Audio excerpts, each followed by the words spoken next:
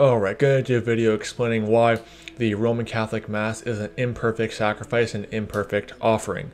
Uh, just like how Roman Catholicism is an imperfect corruption of the faith once delivered unto the saints. Jude 3 talks about that, how the faith was once delivered unto the saints. But first of all, it needs to be pointed out that Romanism claims that its priesthood imitates the Old Testament priesthood. You can see paragraphs uh, number 1539, 1540, 1541, 1542, 1543, and 1544, and 1548 of the Catechism of the Catholic Church.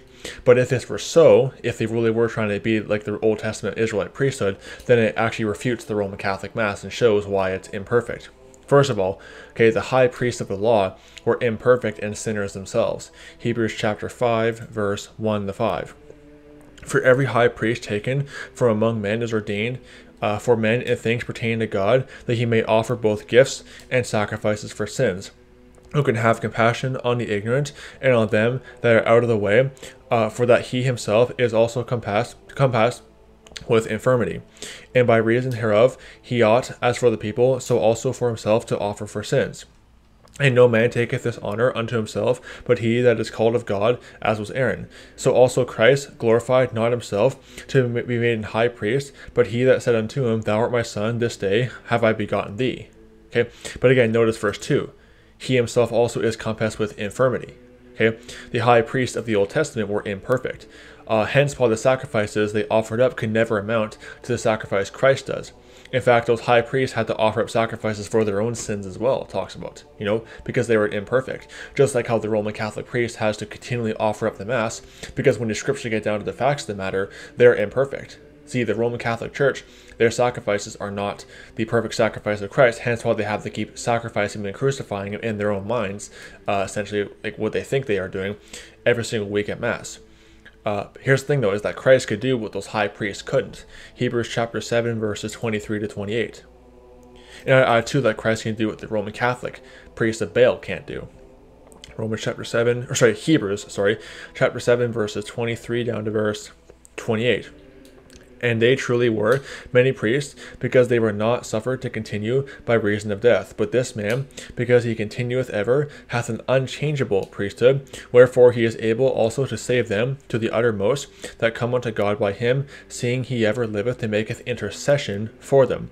For such for such an high priest become us, who is holy, harmless, undefiled, separate from sinners, and made higher than the heavens who needed not daily as though as those high priests to offer up sacrifice first for his own sins and then for the for the people's for this he did once when he off when he offered up himself uh, for the law maketh men high priests which have infirmity, but the word of the oath, uh, which was which was since the law, maketh the Son, who is consecrated for evermore. Again, notice that the high priest they had they were not perfect; they had to offer, offer up sacrifices for themselves, but Christ could do what they couldn't do. But with the Roman Catholic priesthood of Baal, essentially, was what they are, uh, it's no different. Uh, that is why God's Son had to offer up himself as that perfect sacrifice. Because again, Hebrews chapter 10, verse 4 talks about how the, the blood of bulls and goats can never take away sins. And again, you, you compare this with the fact that, again, the high priests were sinners themselves.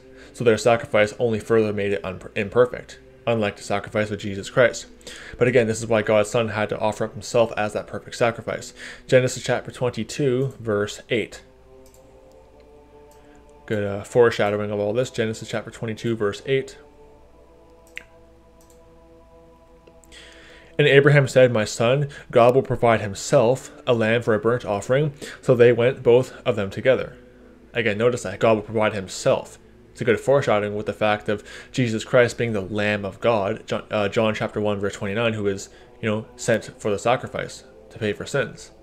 It's that simple. Also, John chapter 1, verse 36 talks about Jesus Christ being the Lamb of God as well.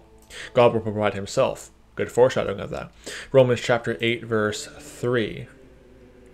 Another good scripture on the matter. Romans chapter 8, verse 3. For what the law could not do, in that it was weak through the flesh, God sending his own Son in the likeness of sinful flesh, and for sin condemned sin in the flesh.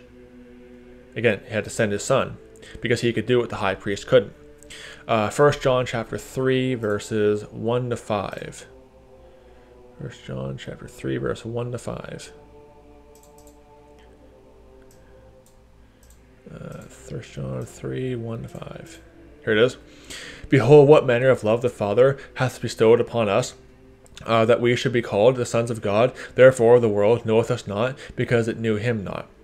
Beloved, beloved, uh, now are we the sons of God, and and it doth not yet appear uh, what we shall be, but we know that uh, when he shall appear, we shall be we shall be like him, we shall see him as he is. Uh, and every man that hath this hope in him purifieth himself, even as he is pure. Whosoever committeth sin transgresseth also the law, for sin is the transgression of the law. And ye know that he was manifest to take away our sins, and in him is no sin. Again, the high priest could not, they were not able to do this. Again, the high priest could not do this. And likewise, the Roman Catholic priest of Baal could not do this. Okay? The simple fact of the matter is that the sinful, imperfect Catholic priest trying to imitate the Old Testament priesthood is, by extension, undermining the sacrifice of Christ. It's also a fact that just like the, the imperfect Old Testament high priests were incapable of offering a perfect sacrifice, the imperfect, sinful Catholic priests are just as unable to offer up a perfect sacrifice. This spiritually explains why Christ is offered up every week at the Mass, because in the mind of the Catholic, the sacrifice of Christ is not perfect and isn't finished, and needs to be continually offered up like the Old Testament animal sacrifices. It's that simple. Roman Catholicism is just bondage to the law. Roman Catholicism is of the devil. Roman Catholicism is a false gospel. It's just that simple. The Roman Catholic Mass is an imperfect offering. It's no different than the imperfect animal sacrifices. So don't be deceived by Roman Catholicism. There is no salvation inside the Catholic Church, plain and simple. Uh, Roman Catholicism is a one way ticket to hell.